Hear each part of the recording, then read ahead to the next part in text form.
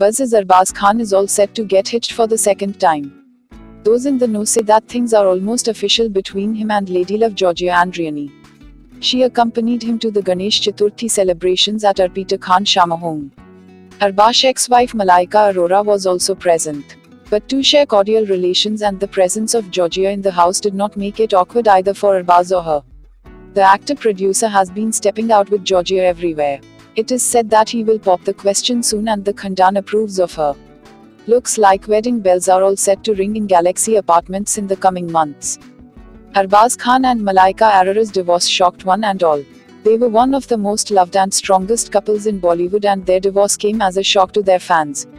The couple split after 17 years of marriage but continue to remain friends. Malaika attends all the functions and parties held at the Khan residence and the family members are also very fond of her. With Arbaaz Khan's son Arhaan to spending time with Giorgia, seems like things are getting smoother here.